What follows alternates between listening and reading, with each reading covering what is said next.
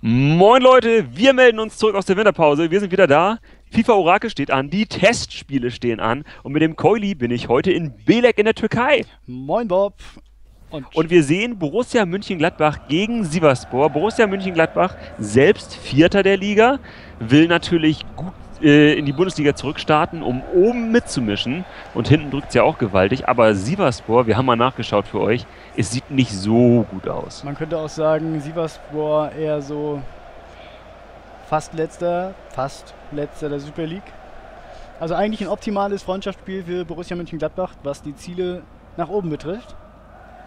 Ja, also Sivaspor ist knapp drüber über der Zone, aber halt auch wirklich knapp und äh, ja, die müssen eigentlich eine prima Rückrunde spielen. Und Nordwald testet gleich mal, ob dein Torwart auf dem Posten ist. Braucht er hier aber gar nicht. Der Nordwald hat ein bisschen geschlunkt beim Zielen. Gerät vielleicht, wie man so sagen würde, fürs Phrasenschein ein bisschen in Rücklage. Und deshalb der Ball doch übers Tor. Wären auch nur relativ knapp, aber mein Torwart hätte ihn wahrscheinlich auch gehabt. Hoffe ich. Ja, kann man nur hoffen. Die Borussia versucht es über Dahu. Stindel? Ach, Stindel! Stindel, ich erinnere mich. Letztes Orakelkeuli. Stindel, dein Angstgegner. Ja, ja, Stindel. Stindel. Stindel, der alte Hannoveraner, der keiner mehr ist.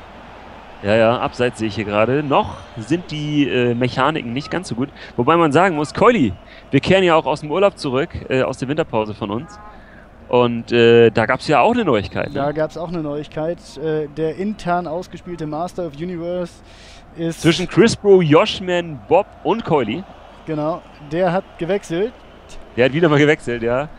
Ähm, Titelhalter bin ich jetzt wieder tatsächlich. Hab Crispo von seinem Thron verstoßen. Verstoßen.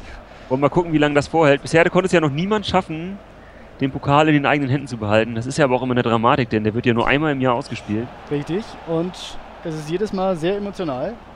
Ja, das kann man sagen. Und, oh. Und, oh.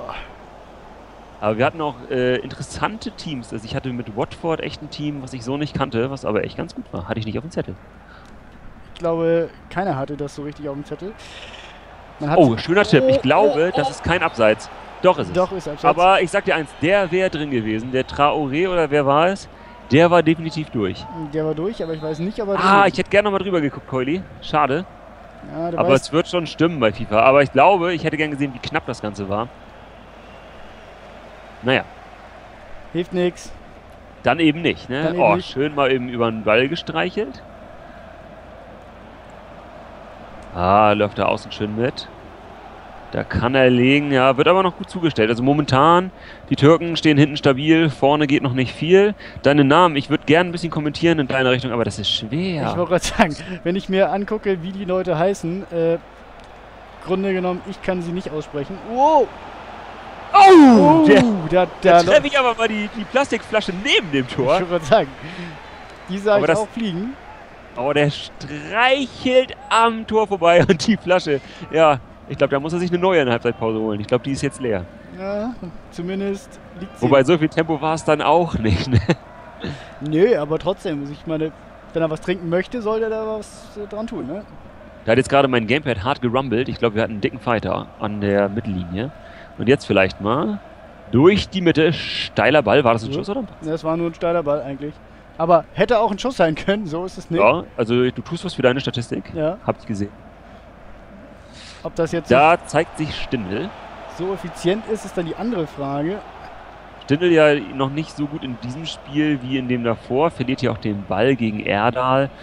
Und die Türken verlieren aber auch wiederum den Ball. Also großes Hin und Her. Ich wollte sagen, großes Hin und Her war es aber auch Durchaus. Oh, wow, wow, wow, wow, wow, wow, wow. Also die oh. Gladbacher versuchen das ganz gut zuzustellen, aber haben doch manchmal Probleme mit dem Zugriff. Oh, interessante Variante. Der Ball bleibt im Spiel. Oh, oh. Ganz schlecht. Ah, ich, das ist die Frage. Nee, der sieht sehr schnell aus, dein Außenverteidiger. Gut gelöst von Boy. Oder wie auch immer er heißt. Ja, kann sein. Das ist gut gespielt. Und es ist Stindel. Was auch immer der immer da vorne macht als DM. ich dachte schon, wieso habe ich den ersten nicht reingemacht? Wieso? Und dann hatte ich das Glück, Traoré verschießt hier noch und dann, ja, keiner steht bei Stindel. Die 13 schlägt wieder für dich, Keuli. Ja, ich merke schon. 13 ist einfach keine gute Zahl. Weder am Freitag noch an einem anderen Tag. Der Lars Stindel wird noch zu deinem Albtraumspieler. 1 zu 0, direkt vor der Pause, glaube ich sogar. Ja, ganz so schlimm ist es noch nicht. Also es ist. Ja, wobei, okay. Oh, also, ich sag dir, das Spiel ist relativ gut verstrichen, so. Ja, doch. Oh.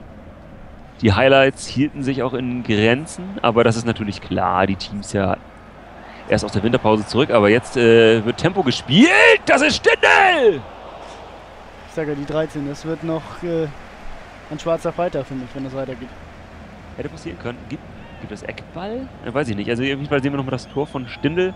Der Kopfball eben, ich glaube es war Stindel, aber der war dann anscheinend noch abgefälscht. Sonst vielleicht äh, gefährlich geworden. Sonst auf jeden Fall gefährlich geworden, weil der Tor war an der anderen Ecke.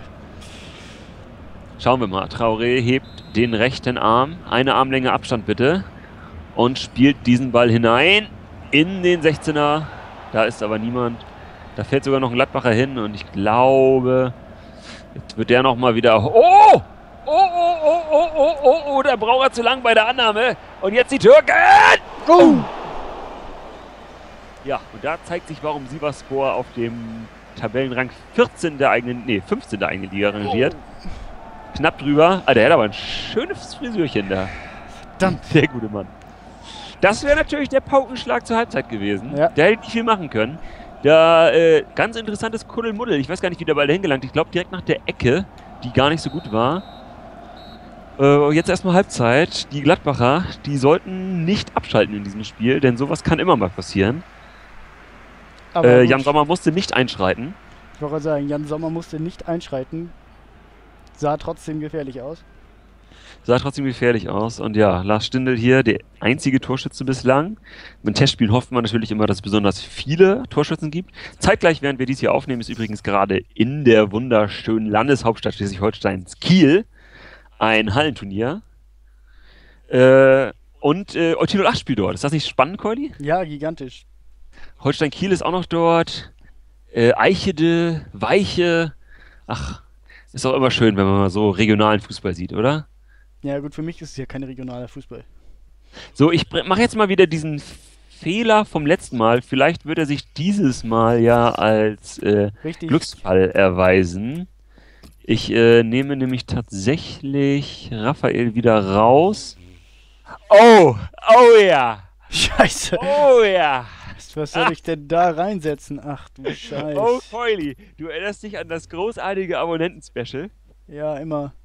An eine Szene äh, mit einem rechten Mittelfeldspieler von Borussia Dortmund, der da aber nicht mehr spielt. Ja, ja, ich, ich habe schon schlimme Befürchtungen. Dein Schreck? Ja.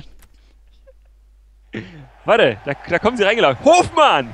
ist wieder dabei, Jonas Hofmann. Verdammt. Josef Drimic und äh, ich glaube, wen habe ich denn als drittes noch gewechselt? Ach ja, Torgan Hazard habe ich reingebracht für den offensiv schwachen, äh, weiß ich gar nicht mehr, weil offensiv schwach.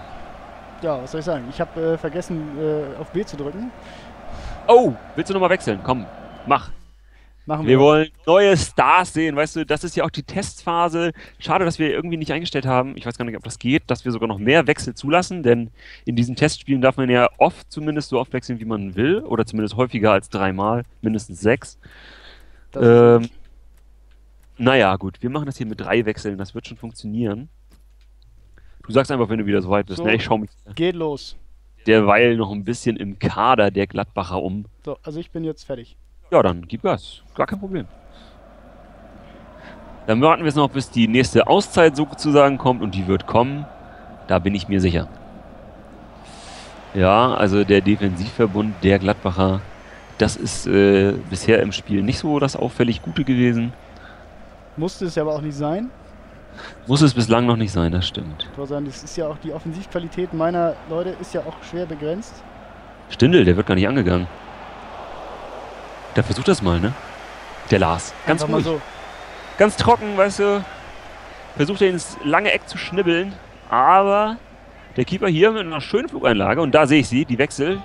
Die 19 kommt, glaube ich, rein, die 21 geht raus. Und äh, du hattest auch interessante Rückennummern. Da geht einer mit einer 66 raus, Adem Kotschak. Ja, und jetzt kommt einer mit einer 19 rein und einer 35. Ja, äh, Barbales. Ich glaube, das ist sogar einer mit einem höheren Marktwert bei dir. Ich bin zumindest noch mal kurz über den Transfermarkt Kader rüber gegangen, um zu mal zu sehen, was die so haben. 34,6 Millionen, sagte ich dir, ist der Kaderwert, ne? Ja. Das ist Äh, nicht so viel. Nee, ich wollte gerade mal nach einem guten Vergleichswert suchen, aber äh, habe natürlich leider keinen rausgesucht. Wie Also das dann ich, immer ich so muss zugeben, 34 Millionen Kaderwert, da bist du in der Bundesliga aber relativ weit unten. Christensen versucht hier gerade mal. Den Verteidiger der Gladbacher kenne ich ehrlich gesagt gar nicht. Scheint aber ein junger Typ zu sein. Cooler Guy, hätte ja fast ein Kopfballtor gemacht nach einer Ecke. Und jetzt erstmal ein weiter Abschlag von Sivaspor auf Chahachuhe. Alter, wenn ich das lese, kann ich gar nicht nebenbei Fußball spielen. Das ist eine gute Strategie von dir. Ja, Verwirrungstaktik mit Namen. Das war dein Trick. Ja, man muss ja sagen, in unserer internen äh, Freundschaftsspielsaison steht es momentan 6 Punkte zu 3 Punkte, Keuli. Ja, es müsste Die ist. Unentschieden müsstest du hier schon holen, glaube ich. zumindest um theore theoretisch noch eine Chance zu haben. Ja, das ist richtig. Aber das ist ja auch noch drin. Es ist noch drin, noch ist es nicht entschieden. Und wie gesagt, im Moment, Im Moment spielen die Türken gut. Sind mehr im Spiel als in der ersten Halbzeit. Jetzt hier auf der Außen, die Flanke nach innen. Fängt Jan Sommer so gerade auf der Linie, hat er recht geschickt gemacht. Versucht jetzt hier weit abzuwerfen. Das ist leider ein bisschen schief gegangen. Und die Gladbacher weiterhin unter Druck. Ja, spielen jetzt nicht mehr so sauber. oh, fuck. Ja, aber rettet er vor der Auslinie. Aber ist jetzt ein unsauberes Spiel. Da kommen nicht so viele Bälle gerade an. Nee, nicht, nicht zumindest. Da würde man sich wünschen, dass da mal jemand für Ruhe sorgt. Das wäre aber eher so ein Garant fürs ZDM. Da habe ich leider keinen eingewechselt. Ich habe, äh, wie immer schlau ich bin, offensiv gewechselt. Oh, So. Der Ball erstmal im Aus. Das ist jetzt eher so Mittelfeldgeplänkelt. Das ist das, was man sich so von Testspielen leider erwarten muss, was man aber nicht sehen möchte. Man ist Möchte- natürlich eher in der Hoffnung auf viele Tore. Johnson jetzt auf der Außen ist mal durch. Der ist aber auch für- verdammt schnell. Oh.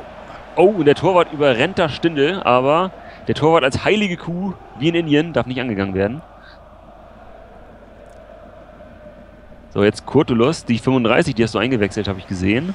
Ja, ich war trotzdem jetzt in diesem Fall mal unterlegen. Ich muss dir mal eins erzählen, den Hofmann haben sie leider ein bisschen mit zu vielen Defensivrennwerten gemacht. Aber, da ist er! Hofmann! Eine Ecke. Zumindest konnte er sein gefährliches Dribbling aus der Vergangenheit nicht ansetzen. Nee, nee, diesmal noch nicht. Aber du rechnest ja auch damit und deswegen darf ich das ja eigentlich auch nicht bringen. Ja, das Problem ist, selbst wenn ich damit rechne, konnte ich das damals immer nie abwehren. Das war immer so das Problem. Torgen Hazard. Der tritt die Ecke, auch eingewechselt, auf Christensen! Der macht da viel Alarm nach Ecke. Das ist Stindel! Weg! Und tschüss. Auffällig ist er auf jeden Fall in diesem Spiel. Ja, als Verteidiger. Naja, er ist ja auch an vielen Offensivaktionen beteiligt, nur er trifft das Tor gerade nicht so. Ja gut, ich sag ja, als Verteidiger, was, was willst du erwarten, ne? Nee, Stindel ist doch kein Nicht, Verteidiger. Verte nicht Stindel. Christensen. Achso, ja, der ist auch an vielen Aktionen beteiligt, aber das eben war ja Stindel. So, Wendt muss ich jetzt hier durchsetzen. Das war nix. Schön gespielt hier. Zur Mitte. Oben wäre frei. Hat er auch angezeigt. Ärgert sich hier. Vielleicht der Abschluss dadurch zu früh kommen. Oben, wie er da läuft. Ja, viel schlimmer ist einfach der Abschluss. Der war jetzt Ah. auch eher so kontraproduktiv. Deswegen habe ich den Leuten lieber gesagt, oben, damit sie lieber da hingucken, anstatt auf den Abschluss zu achten. Mhm. Weißt du, da kannst du immer noch sagen, boah, was ein knapper Schuss. Auf jeden Fall bist du deutlich mehr drin im Spiel jetzt. Aber es, das Problem ist, es kommt einfach kein Ball aufs Tor. Das ist richtig. Das bringt ja dann auch nicht so Oh, viel. schön gespielt. Oh, Aluminium. Ich glaube, der Drimmitsch war's. Das passt schon drin mit. Ja, leider ja. Da wird er sich ärgern, der Gute. Ah, machst du nix.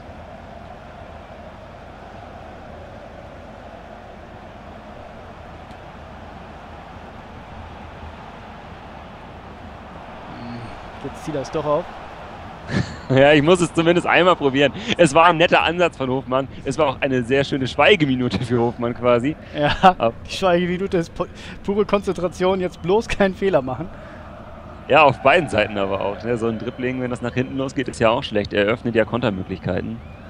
Oh, der ist aber ziemlich ausgepumpt, der Nordfight. Vielleicht hätte ich den mal auswechseln sollen. Mein äh, Mittelfeld wirkt generell recht ausgepowert. Vieles hat sich im Mittelfeld zugetragen. Und dieses Spiel, dieses Testspiel in Belek, nicht in diesem wunderhübschen Stadion von Borussia Mönchengladbach. Äh, das soll anscheinend 1 zu 0 ausgehen. Zuvor hat Hansa Rostock gegen ähm, Silverspor getestet. Ein 1 zu 1, also auf jeden Fall ein machbarer Gegner für Borussia Mönchengladbach in diesem Testspiel. Aber mal gucken, das hängt ja dann auch immer von den Aufstellungen ab und mal sehen. Aber anscheinend geht damit dieser äh, Freundschaftsspielpokal an mich. Cody, was würdest du denn sagen zum Spiel gegen Sivasspor? Wie wird sich Borussia München-Gladbach in Wirklichkeit schlagen? Also ich glaube, in Wahrheit wird äh, Borussia München-Gladbach definitiv zwei, drei Tore mehr schießen. Ja, eher so zwei Tore mehr, weil die sind ja jetzt auch nicht die schlechteste Mannschaft, aber zumindest besser schlagen als jetzt hier. Weil ja, hier fehlt es dann teils an der Präzision. In der ersten Halbzeit waren sie auch besser, die Gladbacher, griffiger. In der zweiten Halbzeit sicherlich die Aktion des Pfostenschusses noch das Beste, was wir so zu sehen bekommen haben. Es fing alles, äh, Nordweit hat viel Alarm gemacht anfangs. Der hatte am Ende auch, am Ende hatte der auch keinen Saft mehr. Aber da das äh, glückliche Tor durch den Abklatscher einfach nur. Aber seine Abklatscher war im Endeffekt im Spiel entscheidend. Nichtsdestotrotz, ja. es war zeitweise doch sehr knapp. So wie hier zum Beispiel zu sehen. Ja. Ja, die Distanzschüsse auf jeden Fall probates Mittel. Hier hat Stindl das nochmal versucht. Hätte er sich fast selbst reingehauen. Boah, drückt er schon zur Seite raus. Muss er aber auch haben, halb hoch. Sieht immer gut aus für einen Torwart. Und jetzt kommen die Kopfbälle des Christen. Der erste war noch nicht so gut, aber ich glaube, der zweite, den er nachher macht, der landet relativ nah am Tor. Erstmal hier dein zweiter Abschluss, glaube ich. Mhm. Im Fallen. Vielleicht sogar freistoßwürdig, habe ich jetzt gar nicht so drauf geachtet. Und dann, Und dann das, dritter Abschluss. Das Ding, wo man sich fragt, wie konnte der bitte so daneben gehen?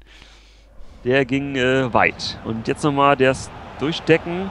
Auch der, die gute Ausweichbewegung und dann, ja, im letzten Endes das Pech des Drimmitsch, würde man sagen. Innenpfosten. Der Ball springt zur Mitte weg und es gibt kein Tor. Wir schauen auf die Statistik. Wir schauen auf die Statistik und sehen keinen Präzision ist äh, Präzision ist wichtig, kann man anhand dieser Statistik erkennen. Ja. Ich mit neun Schüssen drei aufs Tor ist nicht sonderlich gut und du mit drei Schüssen null aufs Tor ist äh, ähnlich schlecht, wobei bei dir dann natürlich eine Schussgenauigkeit von null rauskommt und bei mir eine von 33 Prozent. Das liegt aber daran, dass du natürlich keinen aufs Tor gebracht hast insgesamt. Richtig. Nichtsdestotrotz, ich habe meine Passgenauigkeit ein bisschen verbessert im zweiten, in der zweiten Hälfte. Ja, das war bei mir tatsächlich relativ stabil. Ballbesitz hätte ich gar nicht so gedacht, dass der dann doch ungefähr bei 60 Prozent für Gladbach liegt. Ich dachte, das sei doch deutlich ausgeglichener gewesen. Gut, äh, was haben wir denn hier? Spieler des Spiels ist Nordfight bei mir. Bei mir ist es, gucken, oh, was haben wir denn hier? Äh, Mit einer 8,5. Ah, ich gehe mal auf meine Bewertung. Gucken, so, Bewertung. Bei mir ist es, äh, ja doch. Kass? Kasch? Kass? Nee. Oder Erdal. Erdal. Linksverteidiger oder ZTM? Ja, beide sind bei mir relativ gut bewertet. Was heißt relativ, ne? Bei mir haben sie bei dir eine 6,8. Bei mir haben sie eine 7,1. Beziehungsweise bei dem Zom haben sie eine 6,8. Was soll ich dir sagen? Drimmitsch hat eine 5,2 bei mir gekriegt. Überraschung, ne? Aber wäre das Ding drin gewesen, sähe das natürlich anders aus. Und Hofmann hat jetzt auch nicht so die Leistung gebracht. Und Raphael hat natürlich wieder mal die bessere Leistung gebracht als sein Ersatzmann. Naja, machst du nix. Kann man sich für Gladbach tatsächlich mal merken. Den sollte man nicht rausnehmen, denn der Drimmitsch macht das nicht besser. Nein, definitiv nicht. Insofern äh, danke fürs Zusehen. Das Spiel, wann war das jetzt? Am Dienstag, Am ne? Dienstag war das. Am Dienstag, den 12. wahrscheinlich, so um und bei. Naja, ihr werdet es schon sehen. Und äh, ja, dann sehen wir uns beim nächsten Mal wieder. Danke fürs Einschalten. Bis zum nächsten Mal. Tschö, tschö. Tschö.